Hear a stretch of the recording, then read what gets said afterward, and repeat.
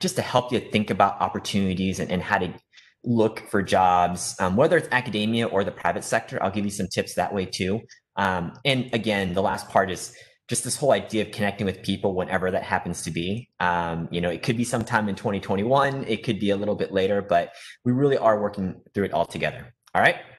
Um, with that said, I'm going to jump into the shifting landscape. So I know that all of you are, are in grad school and, and, and doing programs, whether it's master's level work or um, or PhD level work. I, I, get it. You know, I, I understand where you know where we're all coming from and, and how that's working. Just because um, I finished undergrad in 2003, right after that that dot com burst. You know, and then I finished um, grad school in 07, 08 and that's when you know we had another recession and then right now i'm recruiting for a gigantic platform linkedin when we're dealing with the covid recession. So um, keep everything in mind. I, I, think that i'll try to give you a good example of, of, both sides of the house when it comes to in-person recruiting or, or just online recruiting as well all right? Um, a couple things to think about here. The reality th- this downturn it might last a while right? I know a lot of the tech companies in the bay area and, and around the country and universities as well too don't know when we're going to ba- be back in the office. We don't know what it's going to mean for our recruiting issues. And, you know, if, if you just look at the plain stats, it can be a little bit scary. So, you know, I hope I can give you some tips that will make your, your search better, make your ability to network and connect with each other a little bit better.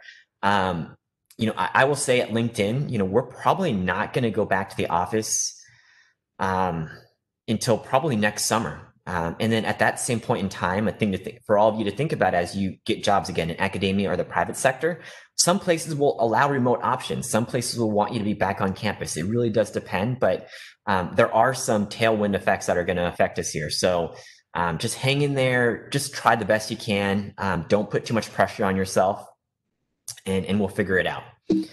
Um, adding to that, you know, what's going on right now is is that people seem to really want to connect and network. You know, there are a lot of people that, that are sharing who they are. And a theme that I'm going to talk about a lot today is that, you know, be open with who you are as a person. Like, don't be afraid to share. Like, I think right now there are so many people that are looking for that connection that it's a good thing. As much as you're comfortable sharing about yourself and, and investing yourself in others, the better it is.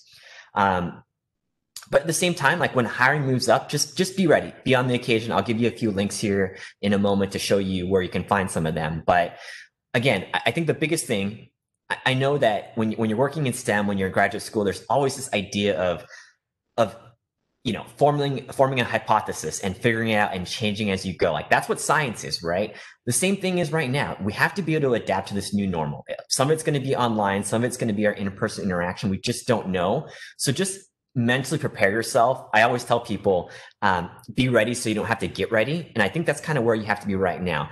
Upskill as much as you can, get as many skills as you as you possibly can, and then just build that network and get people on your side and, help people get to know you. And, and that's really the best way to start. Um, first part is I'm just going to talk about networking remotely today. Um, okay, networking is a long game right? It's it's not simply just you find one person, um, they give you a referral, you get that first job in. Um, the fact of the matter is that there are more people than there are openings. Um, there are, you know, there's a big funnel until you get to where you want to go. So just understand that it's it's not always going to come quick, and that everyone's going to feel the same way you are, right? Like there, there's talk about imposter syndrome. There's talk about do I want to feel authentic? We get it, right? But the chances are just you're gonna have to open yourself up and, and it's okay to be vulnerable um, to more than just one person. Like you're gonna have to really find that network, that village, um, you know, that multiple set of people that'll help you get to your goal. And obviously know what your goals are and, and start early. As a recruiter at LinkedIn, what I always tell people is that you want to help me help you, right? So just really be aware of your ask. Like um, you know, if, if, you're looking for a job, if you're looking for an internship, if you're looking for um, a research opportunity, just pre- be really clear and know what you want to get into before um, before you, you dig in too deep. Okay, why are we doing this today? Right, like I, I really want to stress like the importance of, of making you all visible. Like your skill set is going to be extremely important in this new economy, right? It's all going to be about information, about the sciences, really about what STEM has to offer. Like companies, obviously will love your soft skills, which I, I will try to give you some glimpses of. But I, I think the more people see what you're capable of, the better. Um, I think also access too, right? Like I think the more people you connect with, the more people can open those right doors for you. Um, and then I'll try to give you some tips and tricks today on how to like stand out, um, especially while we can't stand out in person or at career fairs, um, you know, where you stand in those little circles and and wait for recruiters to talk to you. Um, I think this will make some sense to you. I, I think the first thing is is really defining your approach. Um, pretend it's research, right? You're you're gonna have your hypothesis. You're gonna discover some some facts. Then you're going to define like your key insights the themes opportunities that you're really looking for. And then you're just going to develop your ideas like you look at your your kind of your minimum value proposition or your minimum viable product and just say okay if i can just do this much it'll move the needle this much. Same with finding a job right? Like if you just want to get your foot in the door at a company if you want to connect with um you know an alumnus or an alumna of of the college that you've gone to undergrad or for grad school like these are little iterations that you're going to build right? Like it's not going to just be one gigantic gate opening that you can figure out. So really just define and decide what step you want to do along the way. I just wanted to, to make it seem like it's research so you understand that it is an iterative process to like network and connect with people. Um, another saying that i like is that you know practice doesn't make perfect perfect practice makes perfect right so if it's your elevator pitch, you know, like formulate that paragraph of what you're going to say, like understand how you're going to talk about your one minute spiel and who you are. Um, practice that. If you're going to have video interviews, get in front of your, your computer screen um, and, and, try out what an interview looks like. Like play with your lighting, see what you're going to wear. Like, I, I, really believe in that. But anyways, um, just approach it like you, would a research project, like any other hypothesis in, in your work, and, and that's really um, the way to go there. Um, yes, I work at LinkedIn, but I'm not going to exclusively talk about it. But I, I, do think it's going to be a really valuable tool for all of you. And, and I can give you some, some really important insight on, on how to best do your LinkedIn profile. Um, if you don't have a LinkedIn profile, you know, you can get my information from, from Jill and she can send you my way and I can help you get started. But I'm just going to assume that that most of you at least have a baseline profile and I'll give you some really quick basic shout outs to stand out and how to really network. All right. Okay. First thing is if you pull your profile up, um, you're going to have like your background photo, you're going to have your name, and you're going to have who you are. To really help people understand who you are and, and to really network and get in the door, that little box I outline right there will oftentimes say, you know, um, graduate student at so and so place, or just plain recruiter at LinkedIn. Your headline is really a great way to show who you are and to let people understand where you're coming from when you send them a message, when you interact with them um, on on the platform. Um, if you look me up on LinkedIn, you know, normally it would just say like, you know, talent acquisition engagement manager or senior recruiter at LinkedIn. But for me, I changed my headline to say recruiter advisor consultant because um, that's kind of what I think of myself as, right? Like I'm a recruiter in that I go out there and I help people get jobs. I'm an, advisor because I give a lot of advice for career search um, and young professionals on how to get that first job. In consultant, um, you know, I, I, do a lot of admissions consulting for universities and for people, and so I think this is a super easy way to know who I am. So I think for all of you out there that are going to be looking for jobs someday.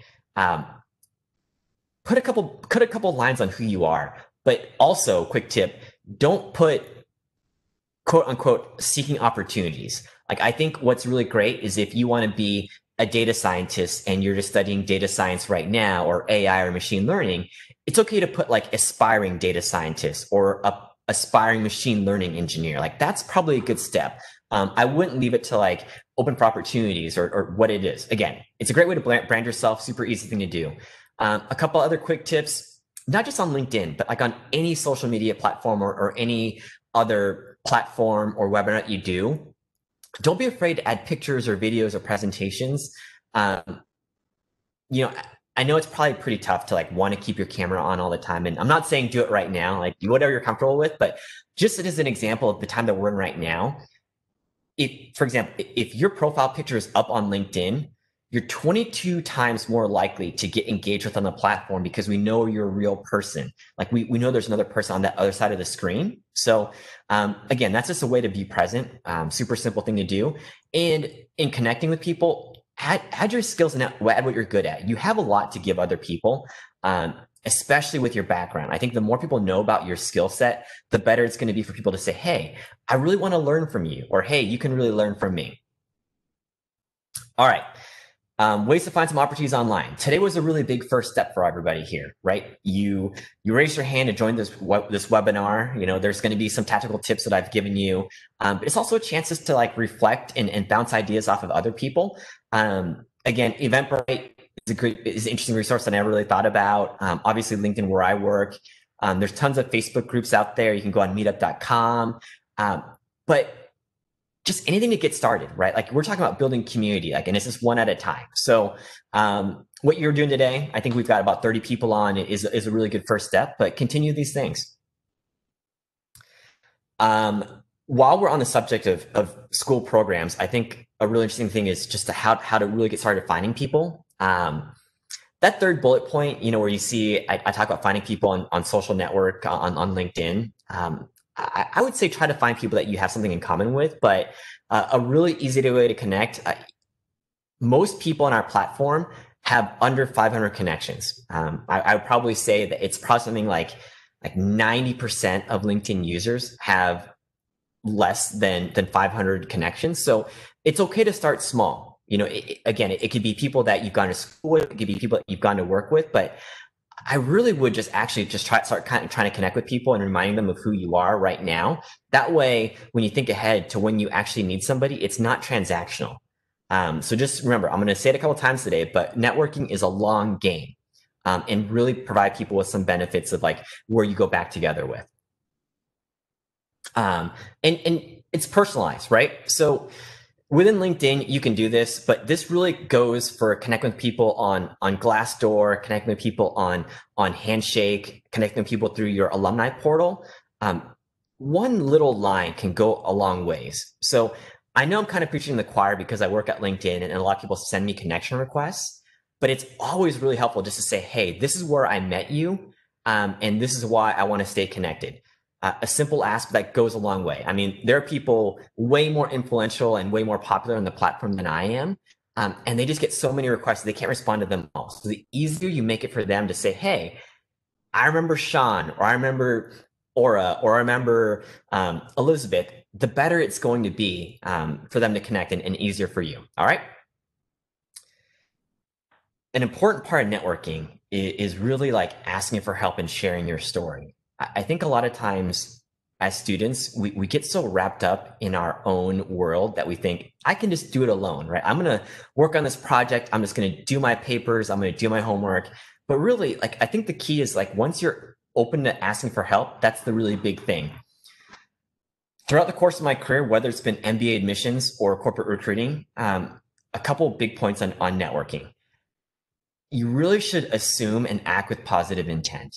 Um, I know networking can be hard. I know it's hard to, to put yourself out there, but I would say, you know, act as if people are good and act as if people want to help you and, and, really try to assume the same thing for yourself. Like try to help as many people as possible. You know, there's that idea of a rising tide lifts all boats. I cannot stress enough. That's the whole point of networking and connecting with people. Um, and, you know, some people say treat networking like you're trying to make friends professional networking doesn't have to go quite that far. But what I mean by that is that don't make it transactional. Don't only reach out when you want a referral for a job. Don't only reach out when you see an opening on their team. You know, if you see an interesting news article, just be like, hey, son, did you see this interesting article about um, being black at work at LinkedIn? Or did you see this interesting article on how university admissions um, is being affected by California law. Like just any of those things would be, would be cool and interesting. Like don't be afraid to share those things. Um, another interesting note that I come across all the time, and, and you all may already get this, um, but I've talked to a lot of students that have expressed some regret. They spent so much time trying to build strong relationships with professors and with administrators that they don't spend enough time interacting and connecting with each other, your fellow students. So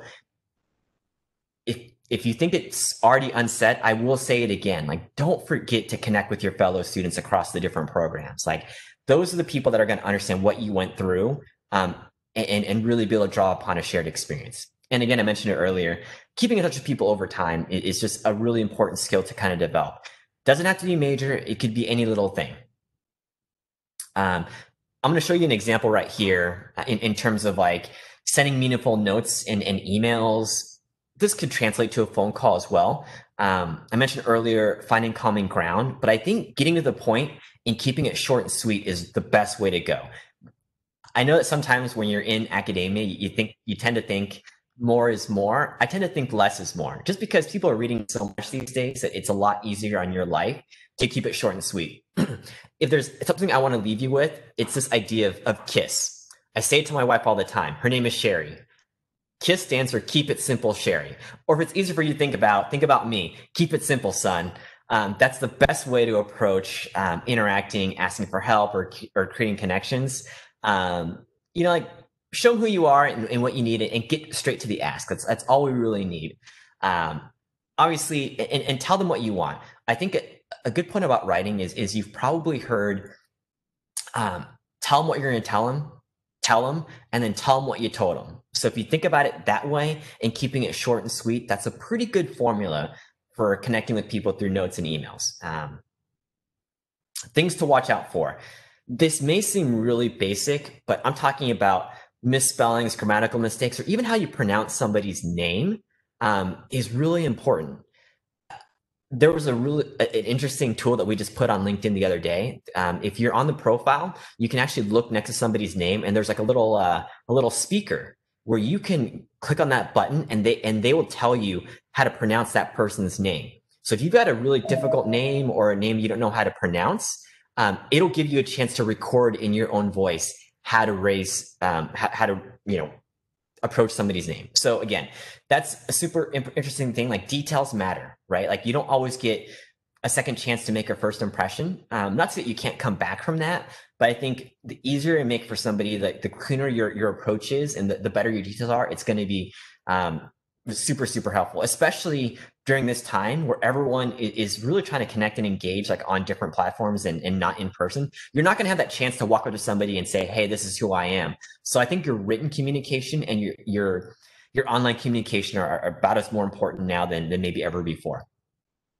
Um, and then the ask. Don't be afraid to make the ask of what you want. Um, and an example as a recruiter here, um, and I, I think a, a lot of you students in graduate school right now have your different areas of expertise, and you, if you're super specialized, you may know where you're going, but even at that point in time, you might need a little bit of help. Think about your audience, and what I mean by this is me as a LinkedIn recruiter. If someone messages me out of the blue or emails me out of the blue and they say, Hey, son, this is my resume, this is my background, please find a job or role for me. That's not going to work, right? Like, understand what you're trying to get. It's much better if you reach out to me and say, Hey, son, um, I see you're a recruiter at LinkedIn. I see that you're recruiting for sales trainees. Um, you know, my background is in communications and anthropology but I've always loved sales. Do you think you can talk to me more about that sales internship? That's what we're looking for, right? Or they'll say, Hey, son, we just saw that you're in charge of artificial intelligence and machine learning intern recruiting. Um, that's an area that really speaks to me. I've been able to do three or four uh, machine learning projects while in graduate school. Um, do you think you can introduce me to the person who's recruiting for this position? That's what we're talking about, okay? Um, and and certainly don't email someone and say, "Hey, can I ask you a question?" Like because that goes back and forth. All right. So that's another big point of no no. Like if, if you're going to ask them a question, just ask it in the ask. Uh, maintaining the relationship, I think these are a couple things that I talked about before, but I, I, still think are just some important bullet points to think about.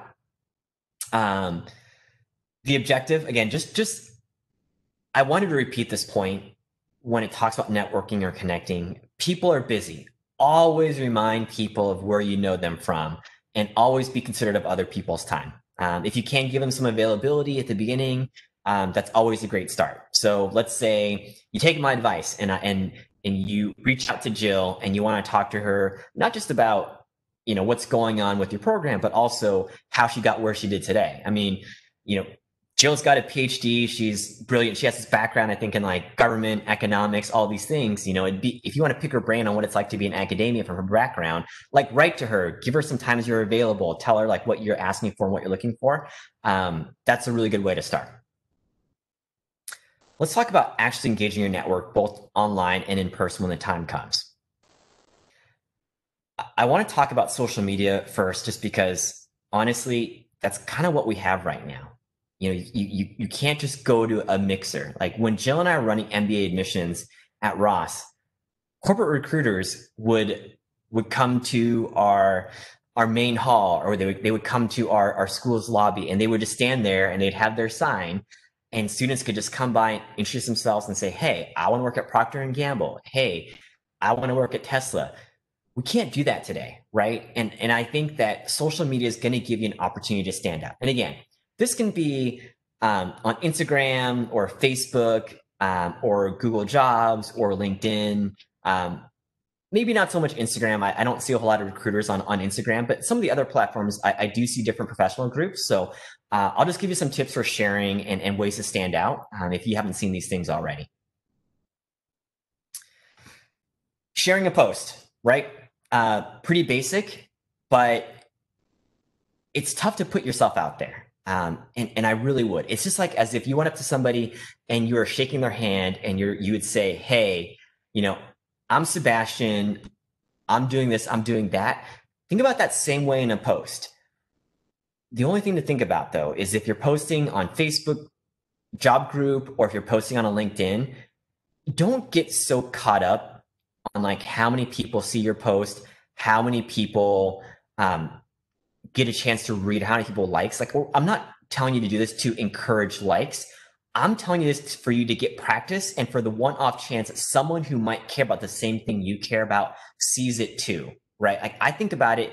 If you could just get out there and just reach one person or just help one other person, what you post can, can really be changing for somebody else. Uh, I'll give you some example of some of my posts um, and you can go from there. But again, I know I don't want you to think this to be like an Instagram, like, look at me, look at me, look at my post and like me. But from a professional standpoint, there are things you can share that people will find valuable, right? It could be a presentation you've done, it could be a video of your work, um, it could be posting about your learnings at a conference or at a um, an industry group. That stuff really matters. Another thing that people have been doing a lot on LinkedIn is asking for help on projects research. I know we get so tied into um, to what's going on specifically in your school or or at your library or, or in your small little network.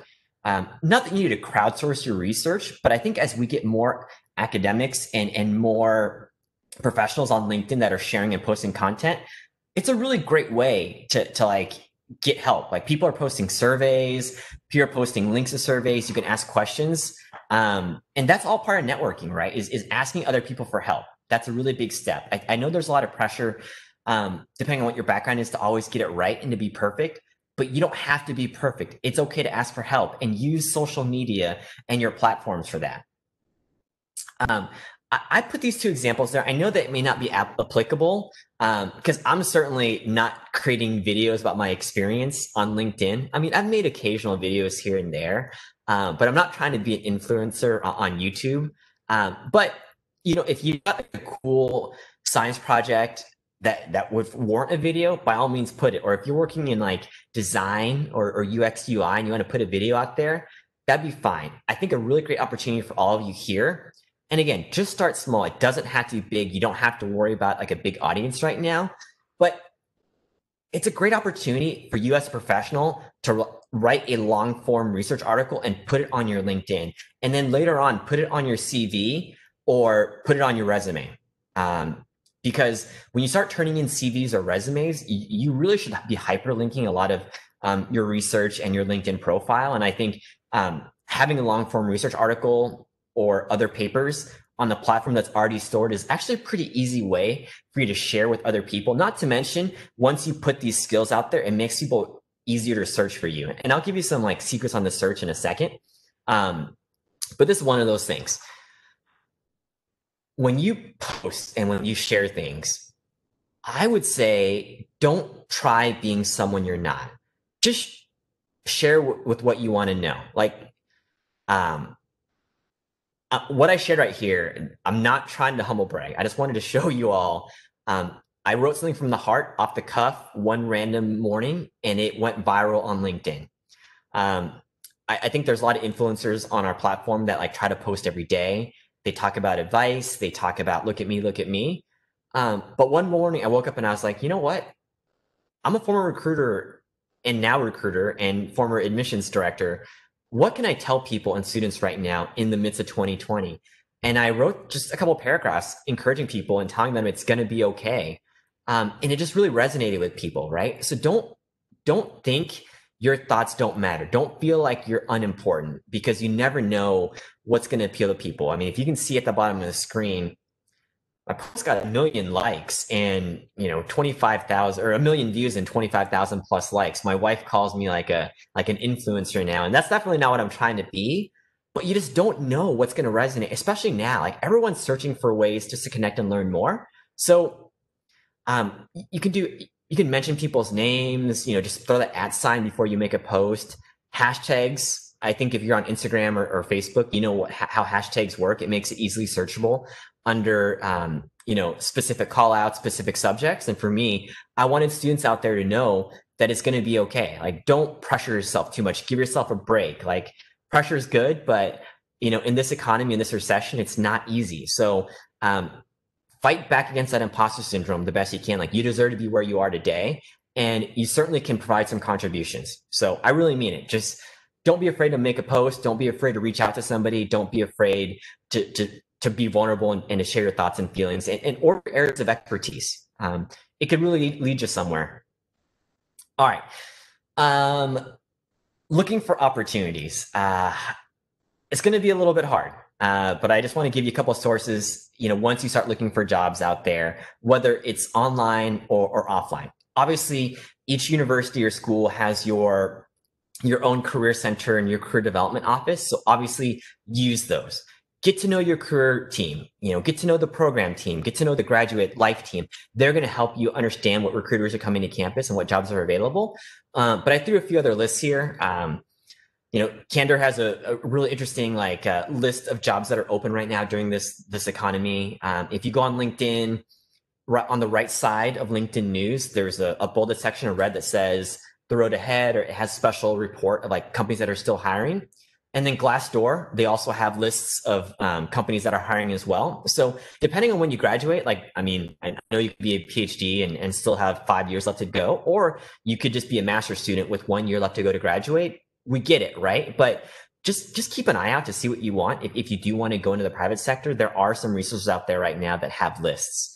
Um, if you want to get academic jobs, I, I think all of you know, you know, some people will email department chairs um, ahead of time and just say, "Hey, do you have anything available?" And then obviously there are also um, each of the university's own job boards that are that are pretty important. Um, you can always dig into as well, but um, find that out there. In, in terms of what we're talking about looking for jobs, just a quick side tip. A lot of people are skipping over the cover letter. Um, and I may be a little bit biased because, you know, being a former admissions director, I, I love essays and, and, and cover letters. Jill and I have some amazing stories about good and bad college admissions essays, but your cover letter can really provide a glimpse into who you are. So if you have an opportunity to write a cover letter, write a cover letter um, especially if you're making a career change, right? It, it, it, your your cover letter might only be three or four paragraphs, maybe three, but tell them why you want the role, why you'd be a good fit um, in the team and in the company, and also like talk to them about some of the skills you're bringing if you're a career changer, even if you're not. Um, it's a pretty low stakes opportunity to let that recruiter and let that hiring team know who you are. Um, so some companies don't need it. Like if you're applying to Google, they'll say, Hey, your resume speaks for itself. No need. But if a company gives you that spot to add a cover letter, just really do it. Um, it's a little bit of an ask and it might go a long ways. Um, actually, while we're on the, the subject of, of applying to companies and, and, and resumes, there, there is a difference between your resume and your CV, right? Your CV is going to be the multi-form long document that could be two, three, four pages long that has all of your research. all of your presentations, um, everything that you've done, conferences you've attended. But if you are applying to the private sector in corporate America, your resume really should just be one page long. Um, and you know you can find different templates online, but the key to good resumes, um, take out the objective portion. Your objective is landing a job at that company. We're going to really know. So save yourself the real estate. If you're working on a resume, the one pager really should be your name, contact information, since you're coming out of school, have your education up there, um, date of graduation, degree, specialty, um, and then your your job and work experience. Stay away from job descriptions. Most recruiters and hiring teams will know what a particular job does. It's more important to talk about your accomplishments and the numbers and data behind any projects or work that you've done. Um, if, if, you want to Google it, go to Google and, and look up like the Google XYZ resume format. That just means um, all your bullet points should be in XYZ, as in you did X or you accomplished X by doing Y as measured by Z, right? So, um, again, if you want some detail on that, just hop on Google. It'll teach you how to, to do all those things. But your resume, stay away from job descriptions, add as much numbers and data as possible. I would probably say um, three to four bullet points per job, depending how long your career is. But just the most important highlights is going to be really valuable. Um, and a small aside, just make sure your resume matches with your LinkedIn. Uh, some people will embellish one or the other, or they don't get their facts straight. And if recruiters will ask about it, that you want to make sure that that you're you know you're performing with integrity and doing the right thing, um, and that both both matches across your CV and resume. All right. So, a little quick aside there from a recruiter to all of you. If you start doing that, um, keep that in mind. Another thing you can do on on LinkedIn, um, and I think if you have a Glassdoor profile, you can do this in Glassdoor as well. Um, is show that you're open to the network that you want to look for jobs. So on LinkedIn, underneath your name, there's a little box that says you can click it, check it, and say you're open to work or open to opportunities. And it's as simple as that. Um, it helps recruiters find you easier. Um, just like Glassdoor or Indeed or LinkedIn, most people's profiles, every single piece of text is searchable. So if any of you are in, you know, web development, just think of it as like SEO, like search engine optimization. Any single piece or information you put on your profile will be searchable to recruiters and to people that are going to hire you. So if you say, yes, I'm open to job opportunities and I need someone with this area of expertise, if you put on your profile, the algorithms will make it easier for them to find you. So keep that in mind. Um, if you're looking for jobs, make it pretty apparent. Another thing, I don't want to scare y'all when it comes to like job searching and, and networking for opportunity right now, but every job gets so many more applications than we have room for. So it's really important when you're on those job platforms or you're on networking platforms to really set job alerts. Um, because if you know what you're going to do, you know, find that company, find that role, and, and, really begin to list yourself now so you get that heads up. Um, not to scare you, but just for an example, at LinkedIn, our software engineering internship application got about 30,000 applications for maybe 275 internships. So, I mean, if you're in that first few thousand, we're probably going to have a chance to review you. Um, but if you're late to it and you post towards the end, you may not necessarily get a chance. Now, depending on each company's HR policy, you know, they may randomize the process. Um, they may just say first come, first serve, but it never hurts to be among the first group. So absolutely, like in your network, tell people this is what I want to do. If you hear of an opening, please let me know. Just like you would set up a job alert on any of the other job platforms, whether it's Google Jobs um, or on LinkedIn or even with company websites, right? If you go on to um, a Tesla or even a university job board, you can actually like pre-select job searches. So really, really do that. Uh, referrals, I think referrals can be an important piece of anyone's job search. And this is really where that idea of networking, connecting with people um, really play. Because people, we don't want to close off any networks, right? Like some people don't have a referral or an in, um, but it usually can't hurt you. If you ask for a referral, this is where I mean recruiting and, and networking is a long game. make sure you're not reaching out to a person you haven't reached out to in five years by saying, Hey, Christine, I haven't talked to you since college, but I need a job. Try to stay in touch with people a little bit more often than that. What that way, when you ask for a referral, they can help you out.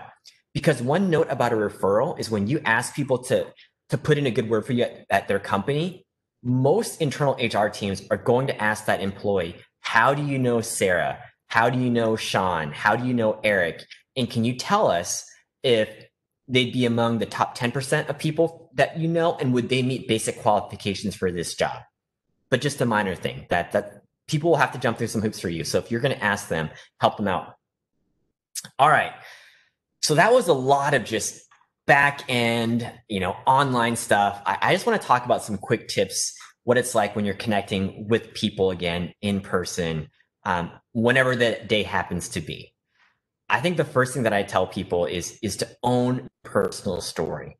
Before you can go out there and and be comfortable like shaking hands and kissing babies you have to be comfortable with your own personal story and, and really be open to growing. Um, you know a story that i always tell is about my first generation background. Um, you know i mentioned earlier my parents were both refugees but to cut a little bit deeper into that story both my parents worked like hourly labor jobs my dad cut fish at a seafood processing plant. My, my, my mom worked at McDonald's, like cleaning tables. Like she wasn't even advanced enough to where she could work behind the counter and take orders. She like cleaned tables and took out the garbage. Like that's, that's hard, right? Like most people in tech and, and have gone to the schools that I've gone don't come from backgrounds like that. And so whatever your background is from, like, you know, don't be afraid to share. Like, okay, big deal. Maybe you come from the opposite background, right? Maybe both your parents are PhDs or maybe both your parents are lawyers. That's okay too, right? Like there are things that you could talk about with that story. You could say, you know what? Both my parents are lawyers and I knew I didn't want to be that. Um, and so I went into um, corporate real estate. Or it could be, you know, both my parents were physicians. So I knew I didn't want to do that. So I wanted to go into um, software engineering and mobile application development.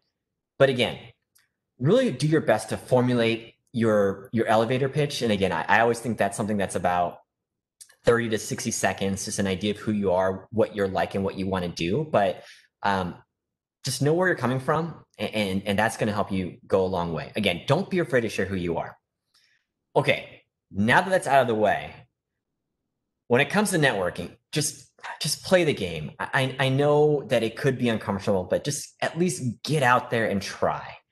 Um, there's this old Chinese proverb where it's uh, the journey of a thousand miles begins with one step. Same way goes for networking. Um, it may be uncomfortable at first. It may never be comfortable, but you have to at least try. Um, just because we can't get anywhere in the world alone, um, especially with the you know proliferation of information, um, just try. All right. So whatever you do, if you get anything from this day, just think about putting your pants on one leg at a time, you know, throwing that jacket on, lacing up your shoes and going to that event, going to that career fair. Um, at least get out there when you can. All right. A couple quick tips as I hit off before we uh, kind of pause for general questions here. Body language really matters. Now, this translates in person. This translates, um, you know, whether that back to career fairs or in person interaction. Now, what I mean by that is, you know, I mean, I mean eye contact. I know eye contact is is different among various cultures, um, but you know, look ahead if you can and, and, and do your best. Like it's it's not good to be looking at the ground when you're interacting with somebody. It's not good to be looking away from them. Like be in the moment. Um, and another minor thing, I'm not sure we're going to go back to this, but in case you do, the power of a decent handshake, I I think still plays right? By that, Google it. Like, just don't give people a floppy fish handshake, um, you know, or, or watch your palms. I, I think just the way you you greet and interact with people is really, really important. You know, what it, it means to stand as confidently as you can.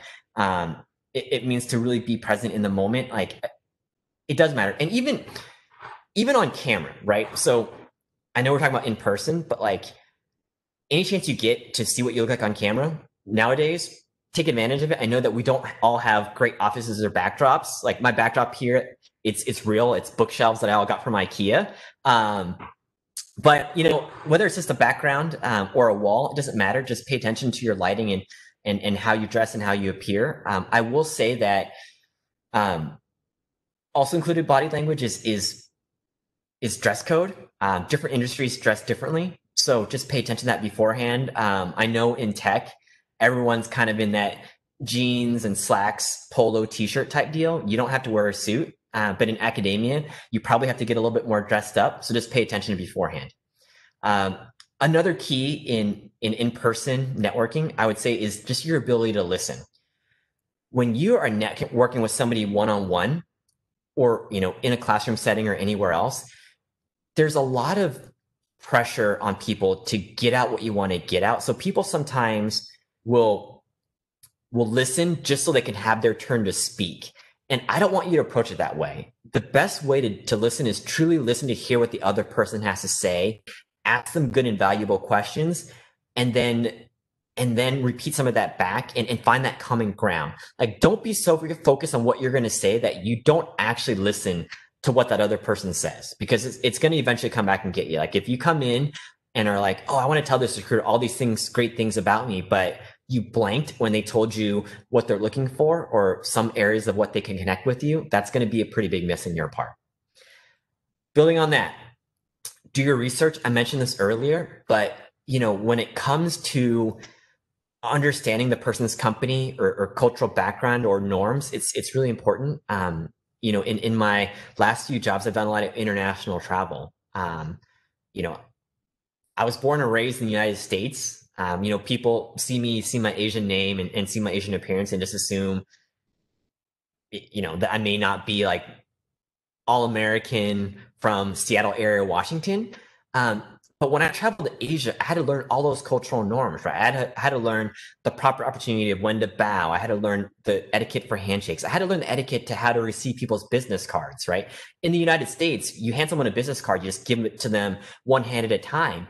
But when you're in Japan or Korea, you take gifts and you take business cards with both hands, you examine the card, and then you put it in a nice place. You don't just stick it in your back pocket, right? So there are cultural norms. Just look ahead. It's just like the the double kiss cheek in in Europe, right? Like just know when to do things. It's a simple thing, but it goes a long way. Like I've I've seen that um, when I'm talking to professionals in different parts of the world or different cultural norms. It's always helpful to understand what you're getting to ahead of time um, just don't think your way is the right way, right? Like I could, I could have busted into those places in all over Asia and Europe as like this American cowboy. Um, but I didn't, you know, I, I, think there's a lot to be said for respecting people's business norms and cultural norms. So, so do your best. Another part of networking, um, and I, I, love this saying too. Um, you know, if, if, you're at a career fair and you're in a circle, like maybe it doesn't need to be said, but you know, don't cut other people off. Don't get in their way. Um, I, I, think it's just so important. I, I know that you have to fight for what you want, but it's really important to be proper and polite about it. You know, there is, you know, there are common courtesies to keep in mind. Um, so don't get so focused on yourself that you walk all over other people. A um, couple other things I want to just really point out that are important. Um, be intentional. I meant this earlier. I, I, said the help us help you. Like always have purpose behind what you're doing so you're not wasting your time. You're not wasting other people's time. If you call someone and say, hey, let's meet for coffee, shoot them an agenda ahead of time. Let them know what they're going to do for you. If you want someone to like, write you a recommendation, give them a few bullet points about what you're what you're good at. You know, send them your CV or resume so they can help you out um, I just think it's really important that that you you do your best not waste your time or other people's time. Um, last thing, read the room. It's 2020. There are there are so many things for us to be aware of now in, in terms of of what's appropriate and what's not. Um, I, I really want you all, and this is not me trying to be the PC police. This is not me trying to tell people to to be political or not political.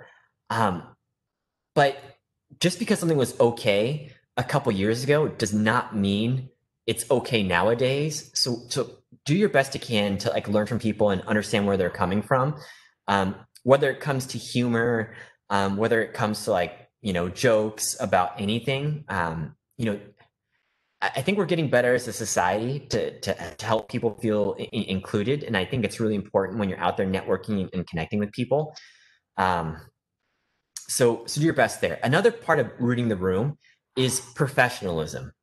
There is a certain sense of professional decorum that I, I think is still there when you're interacting with people outside your friend group.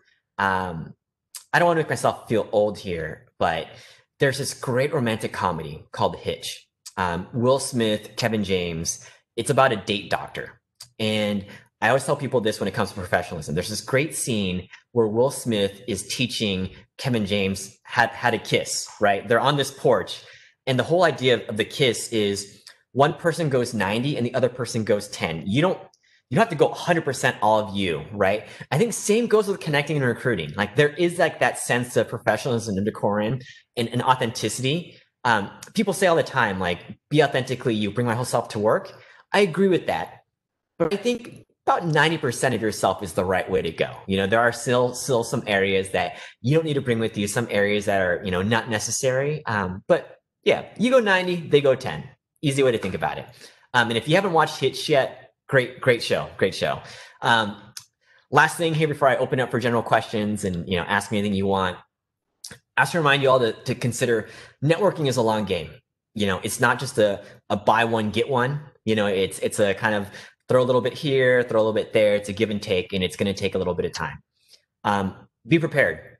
You know, be ready so you don't have to get ready. Like that. That means like doing your research, getting ahead of time, knowing how you want to approach things.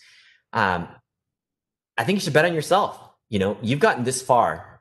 You know if you think about the context of the world right? When when you all get out of school you are going to be so well equipped with your background with your degrees with your areas of study and, and where they're needed in society and in business these days like believe in yourself. Know that you belong there know that you have a lot to offer um, and don't be afraid to share.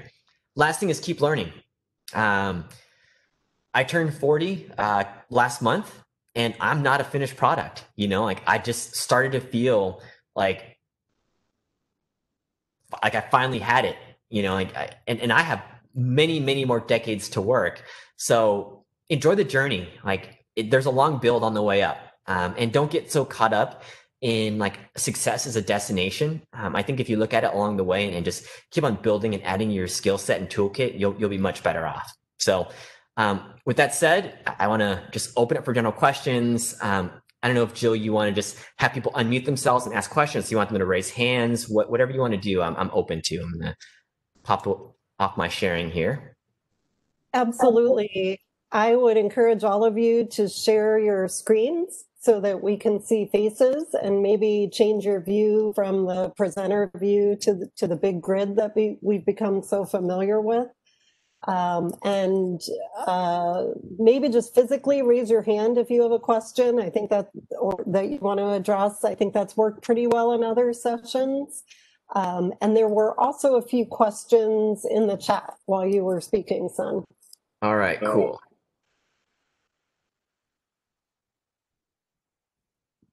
You can also feel free to chat your questions in if you're more comfortable with that though I hope Son has just inspired you to put yourself out there and and come up with the best body language you can and sit up straight and practice asking your questions. All right. Um, I could warm us up. I could just, you know, unless someone wants to go real quick, I could just start reading out some questions and see if I got any. Uh, any. I saw Destiny raise his or her hand. I, I did. Go for it. I was like, I don't know if I should unmute myself and start speaking or just raise my hand. Um, so I have a question. Um, so kind of about like owning your background. Uh, I come from working class family, and I spent multiple multiple years working fast food. And this is something I've gone back and forth with about including on like my CV, my CV and my resume, as well as on my LinkedIn profile, um, because you know I think that it shows that I am able to commit to a job. I worked for eight years from mm-hmm. like 16 on um, until I moved out of state. And I was wondering what your opinion was on including something like that in, you know, that profile setting, because that is not what I do anymore. I'm a hydrologist now and, you know, it's completely different, but I felt like it kind of showed that I'm willing to work and stick into a job. Mhm. But I was, what is your opinion on that? Yeah, I mean, I think when, when you're working in, in fast food, um, you know, my first job in, in high school was Little Caesars Pizza. Um, so I get it, right? I, I understand there's the complexity that there's like customer service, there's work ethic, there's the consistent approach, there's like learning, you know, how to do things with not just like your mind, but with your hand. There's importance to that. I would say when it comes to some of that earlier career fast food work, probably anything after high school, I, I, I would actually, you know, I wouldn't be afraid to put in at the bottom of your profile. Um, and especially when you're able to explain your role a little bit more. I mean, I, I think, you know, you probably don't have to go into super detail about it, but I think it is a, a, worthy thing to put on there. Um, and especially you said you did it for eight years. So, um, yeah, I think some people might, might wonder, like they might, they might go, oh, well, you know, what, what has Destiny been doing? Like, where's this gap from? But I think after high school, probably okay to put, put some of that experience there. Cool. Uh, Sarah, I think. Do you hear me? Yep. Okay, great. So I have a follow-up question on that. Um, my situation is uh, kind of similar in a sense that I have been working in multiple positions at a time. So it, when I try to create a timeline, it looks kind of messy. To me, all of that work that I've done contributes to where I am and what I learned. But it's a little tricky to decide what to include and what not. Mhm. And uh, sometimes uh, I hear feedback like, oh, I wish I knew that you have done this as well. This is helpful. And some other times I hear like, oh, this is not relevant. You have been doing too many different stuff. It's a little challenging to figure out how to manage that. I would appreciate your advice. Yep. I think there's two approaches here. Say one is kind of like your your LinkedIn online approach, and then one would be like your CV resume approach. So that extra work that you were doing, was it with multiple companies? Like were you kind of like a contractor or were you kind of like a consultant with taking on different projects? Or were you just doing multiple projects for one company? So, for example, back home before grad school, I had a part time teaching job mm-hmm. as well as full time tech job. And then I had my hobby of working as a certified tour guide, Mhm. which, uh, and these all contribute to my current position as a UX researcher. I've learned points in all those positions that are relevant, Mhm. but I don't know which one to include because they seem all over the place. So what I would do is so on, on your LinkedIn profile, I would probably I'd probably list all those things. Um, now, if it doesn't look clean from like a, a data format and from a, a chronological format, you could probably play around with that. Like if you absolutely needed to, you could just put um, you could put them in like a project. Like you can say like you take two things and put them on your actual work experience, and you go to a lower area and actually list them as like special projects that you've done. Like that could be a way to make it look cleaner on your CV or resume, on your CV, if you were going to turn in a full CV, like you probably want to put it all on. For a resume, job by job, you probably have to pick and choose which of those things are relevant and, and maybe just put one or two bullet points on each. Um, just because, you know, if you're looking at UI, UX stuff, like they're probably going to be demanding less things and they might say, hey, we get how this affects your, your point of view, Mhm. but how it relates to the job description and basic and preferred qualifications, it might not fit in there. So I, w- I would read every single job description. And if there are some things that were relatable, put those in. But I would probably tone things down for the resume, but on the LinkedIn, throw everything on there. Okay, makes sense. Thank you. Yep. So there's a question in the chat Yep. from earlier that says on LinkedIn, there are a lot of skills that can be listed. Are there certain ones that we should be using to make our profiles more robust slash get more views? Ah, uh, not in terms of a specific skill. I would say that if um, the most important thing is to have your skills match up with your bullet point jobs, experience, and research, right? Because it, kind of doubles down on that. So let's say when someone goes and tries to find you on LinkedIn, they're going to type in a certain set of skills, a certain set of education, and maybe like a an amount of experience or a graduation date the more times that shows up, the more likely it's going to show up in a search. It's essentially search engine optimization. Um, I think the difference is that most of you, if not all of you, are, are in very specific science STEM things. So I, I think you have an opportunity to put some great hard skills on there. So if it's programming languages, absolutely get your programming languages on there. If it's like research and heavy things, like put those things on there. The soft skill stuff, I really wouldn't worry about that too much. Uh, I, I definitely put our technical skills on though. All right. Um, anybody else? And I'll go through the chat in a second. Yeah, go ahead. Hi. Thank you so much for. Mm, okay. Can I go home? Yeah. All right. Yes. So thank you so much for the beautiful presentation. It's um, high opening experience for me, and um, I have um, two questions. So the first one is regarding um, some closed group on LinkedIn. For example, the clinical specialties are closed groups most of most often than not. You either are within the profession before you can gain access. Although there are a few that um, you can only read messages and but it's literally guarded, you don't have access. So when you have those kind of challenges, for example, I'm interested in clinical positions, um, what clinical professions and the positions also that are attached to them. So how do I navigate that through LinkedIn? Yes, I, I found that like my best with the closed groups. I, I don't have as much experience with closed groups, so um, you I might have to look in this a little bit for you. But with closed groups, I typically tend to find um, like a hashtag around it or like the group name. And I've done some searches based off of the group name or based off of like the administrator. Um, and once I find them, um, I'll just kind of keep an eye on who they are and follow the same things they follow or make a comment on something that they've commented on. It's kind of the same way. Like if you if you know the job you want, you search for that title on LinkedIn and you kind of just slowly I, I mean, it's you know, LinkedIn. I don't want to call it stalking, but I mean it's just a polite way to follow somebody. Like you just kind of keep an eye on like what's most important to them. That's the same way with these closed groups, right? Like you kind of get into that, you understand what that area is, and you you just get to that ecosystem and, and start like looking up those hashtags and those relevant people more. Um, and as you try to interact with them, you kind of slowly work your warm intro lead right there instead of just trying to like, hey, I'm interested in this group. Can I get in right away? They're going to be like, hey, who are you? Um, so yeah. Yes. And my second question is an offshoot from that. So um, now in um, I I send message introductory messages to people on LinkedIn informing interested in your work and I would love to have a discussion. So, but um, is there an an acceptable algorithm of duration of follow up after you send an initial message, two weeks, three weeks, no response? Is it appropriate to send another one or just or that is telling you no no?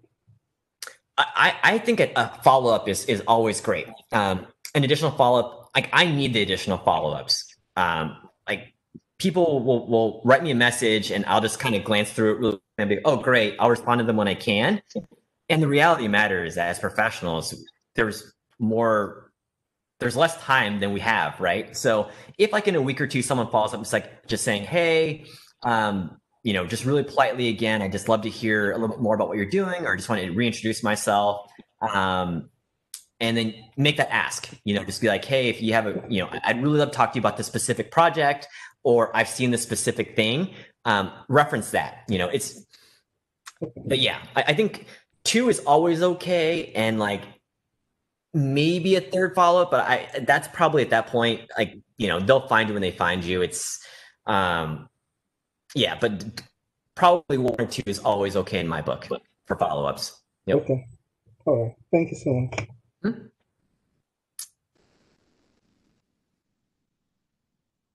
All right. What else we got? Uh, hi, Son. My name's Maria. Mm-hmm. I wanted to ask about, especially when you're still a student and don't have a lot of professional experience, it can be tricky to reach out because you don't want to come off as needy, right? You want to sort of offer something to make that a, a working relationship, but you might not have a lot to offer. So, uh, like in my case, I, I do work uh, full time too as a student. Um, I'm a bilingual data consultant at Wells Fargo. So I lead with that so that people don't think I'm connecting um, you know, because I have a hidden interest. I'm like, you know, I have a job. I just want to know more about you. But I remember a time when I was in undergrad and it's sort of awkward because you don't want it to seem so transactional. But I mean, maybe leading with um, like an informational interview or I'm interested in your stuff. Like, how, how might you go about that when you don't have a lot to offer yourself? Well, I would say one is just to be as specific as possible. Like if if there is that ask for an informational interview, you have to really dig in deep and say, "Hey, I saw some of these really cool programs at your company, like you know whether it's at Wells Fargo or at a J.P. Morgan Chase or, or you know whatever you want to do. Just be like, "Hey, I, I, saw that you did this diversity program in the community. Um, I would love to be part of that someday. You know, would you be willing to share some tips and tricks? Or um, I saw this." you know young leadership program that your company has started and i want to do that too at for for my you know for my company would you be willing to help us with that? Um, so I would say like take it one more level deep beyond like, hey, I'm so and so. This is my background. I'd love to connect, but like if you can find like that one or two things, um, would be great. It's just like for me, um, people always talk about campus recruiting, but when they start mentioning things like first generation background, or if they talk about like immigrant parents, or if they talk about Notre Dame football, I'm usually gonna be pretty hooked, you know. So any little thing counts. Um, I saw a question on the chat a second ago about um, career gaps for parenting, for traveling, um, or otherwise. I am of the school where you you you list what you did in that in that job gap um, because people are very understanding these days sabbaticals they're very understanding of time off as parents. A lot of companies even have programs for like return to work for parents these days. So it's always better to tell us what you're doing during that time. Like even if you were just traveling the world on a sabbatical you could always tell us what you learned and all the new cultures you brought in right? And if you spent that time raising two kids more power to you right? Like they're they're like most companies like have groups for parents to like share best practices and just like to to be together. And, and that's a valued thing. Um so don't you know don't shy away from that you know if there is a gap of i'd say anything longer than like nine months to a year just tell us what you were doing. No one's going to judge you for it. Okay. Um, what else? I'll go through the chat here too if someone else wants to pop a question in there. Anna, did you have a question a few minutes ago? I did have a question. Um, the gentleman who spoke, Oluwaseun, actually kind of addressed it. But I, will say hi, son. Um, I really appreciate your talk. And you talked about your experience as the son of refugees. That really resonates with me um, because I'm the same. Um, I, I guess what I've been thinking about over the course of your presentation is that I'm it's almost serendipitous that you're giving this talk because I'm attending a virtual conference right now and so all I've been doing is trying to network. And I found that these virtual platforms make it so much easier to get that one on one engagement. And so I guess more of my question that um, Oluwaseun kind of asked was that, you know, when you're not in these settings where people are being open just sort of networking and connecting with you, like if you were to say, do like a sort of cold call with someone, um, I guess there is no there's no loss in asking, but you've already talked a little bit about how we can more more appropriately coax a response back. Um, yeah. I will say the thing about cold calls and you know, I recruit sales trainees, so I get it, right? When you're you're you're chasing leads, you're you're developing sales talent. Um and this is I don't want this to sound to go against the transactional nature of what I spoke about before, but with cold calls, you can't get to everybody, right? Like when you're on LinkedIn, there are just so many people out there that have great skills and skill sets that are willing to help you out. Um, don't feel like it's your one shot only. Like if, if someone is just not available to get to you, on to the next one. Someone's gonna like eventually someone's gonna say yes, and that's all you need. Um, so give them a follow up. If you don't, if they don't get it, it's their loss. I mean, I know there are so many people that have reached out to me that I haven't been able to get to. And that's that's my that's a bad on me right i just I, I, can't get to everybody like they're gonna land somewhere else awesome and they're gonna contribute to their company and do amazing things it's just like when jill and i were in, in, in missions right a lot of most people that apply could do the work You know, a lot of people applied could have been very successful students at Ross's MBA program. We just couldn't take everybody, and they're going to end up good somewhere else too. And that's the same way with like cold calling on people and reaching out. Like everyone's going to find someone at some point. So just don't get too discouraged. Thank you. All right. Let's see if we have Looks like Sarah has her hand up.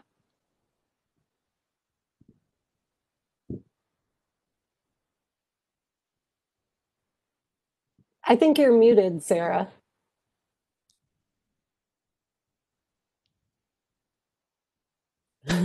okay.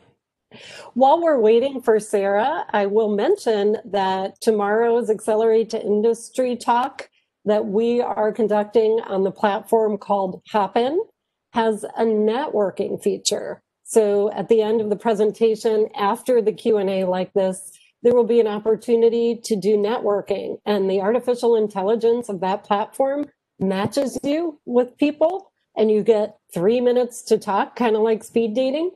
And if you find you both want to connect, you can click uh, exchange contact information. So it's a good place to practice some of the things Son is giving you advice on today. Yeah, one of the quick things about career fairs um, is a lot of people. I was listening to an online career fair on Friday, and people will just you know ping me on the virtual platform and say, "Hey, what opportunities do you have at LinkedIn?" I really would push you to, if you've done your research, and just say, "Hey, you know, I'm Maria. I'm Andrew. I saw this opportunity. You know, are you the right person? I can ask some questions about so and so. That will just put you in the good graces of most recruiters and most volunteers. That that's always a good first step. Cool. Here, Sarah, do you have another- Or who? Yes. Yeah. Yes, I have another question, please. Uh, and thank you, Jill, for sharing about this uh, networking opportunity tomorrow. It sounds cool. So um, my next question is, um, a lot of us are in grad school. We have some work experience before grad school, and now we are graduating with a graduation date sometime later than this point. There are positions requiring work experience. They're not necessarily master or PhD level, but a lot of times uh, when we apply online, they calculate our experience based on our latest graduation date, and that can become frustrating. So I was wondering if you have a workaround for that because I have like 10 plus years of experience before grad school, but now when I look at job positions, uh, they just look at uh, my graduation coming in December 2020, and that's it. Um, and that's challenging. Um, well, I think it depends on the type of jobs you're applying for, right? So, um, in your shoes and in anybody else's shoes that has work experience, there's kind of a couple avenues into any company. They have their campus hiring pipeline, and then they have like their more experienced recruiting pipeline. So the experienced recruiting pipeline has like their own job requirements in terms of basic qualifications and preferred qualifications. And the campus guidelines just says as long as you meet whatever this that job posting says and you're graduating with this amount of time frame, that's what you're applying for. So I would say, Sarah, it, it really depends on if you're applying the campus portal or if you're applying to like the more experienced portal. The more experienced portal, they really should be looking past the graduation date. The only issue that comes up, which I think is probably a bigger than your graduation date, the experience portal needs people in real time, like within the next few weeks. And that's probably where they're getting scared off by the graduation date. If you're applying for a campus portal job, those jobs are going to get held open for like six to nine months. So that's usually when they'll disregard dates. If you run into any bottlenecks because of dates, it's probably because those roles need somebody in seat right now. So if you're doing like a part-time program or if you actually can work now, you need to uh, write that out uh, in terms of your availability, either in your cover letter or even in like your, your resume and, and just put like a little asterisk and say like, you know, available to work right now, but you know, graduation is expected in December 2020 or December 2021. Um, yeah, that's probably the best way to do it. I know that's not the cleanest answer, but um, some companies just use an AI to look over resumes, and some companies will have a person look at it, um, and that's just unpredictable. Right. Thank you. I, I like the advice. I'll try the asterisk. Thank you. Mhm. cool. Um, any other things that popped up? Did you see other big themes there, Jill, about um, questions otherwise? There was a question earlier in the chat about whether it's appropriate to keep up, maintain contact with faculty members who had written your recommendation to get into grad school. I mean, I think that's good to your heart. It's a good idea in general, not just for like networking professionalism. You know, I think you you remember the people that helped get you where you are. Um, I mean, I still stay in touch with my undergrad college professors. Actually, I still keep in touch with my high school professors, uh, high school teachers. So I think, you know, people teach and people are are in higher education for a reason. So keep them updated about your successes, right? They might ask you to come back and pay it forward someday. Like they might say, hey, you know, it was great having you in class. I love writing you a letter of recommendation. You want to come back and speak at the class someday? That's a great opportunity. It might be fun too. So, yeah, definitely. I think that applies to directors of centers for graduate life too. they probably would love to hear how you're doing when you're alumni and would love to have you back to run panels for current students. Yeah, I'd, I'd also want to jump in um, really quickly and just to say that the job that I have now, I was found through LinkedIn. And I wasn't, I didn't even apply. I didn't look for it. I mean, I'm, i was a student, so I wasn't looking for anything full time, but the opportunity presented itself. So I would encourage everyone to just like be patient um, and like be genuine and authentic in what you're doing. And just know that, like uh, Son said, there's somebody that's going to find and identify your skills. And to his, the point that you just made, um, a position opened up and they asked me, you know, do you know anybody? And I immediately thought of a classmate that I worked on a project on in class. So, and and she's going through interviews right now. So you never know. Um, definitely keep those doors open. Ah, it's so great to know that the platform works. Well, it is 5:30, uh, so uh, we are about out of time. But Son, I'd like to really thank you for joining us today and talking with our students. And thanks to all of you for taking this time. I know that it is tough out there right now to get on one more WebEx or one more Zoom call. Uh, and I'm glad that you made the commitment to do that. Uh, it's really vital, as, as Son just mentioned, to keep learning, keep growing right now and get ready so you'll be ready. And that's absolutely what you're doing by joining us today. So thanks to everyone, and I hope I will see you tomorrow and next week. Take care, all. Thank you. Bye, everyone. Thank you. Thank you. Thank you.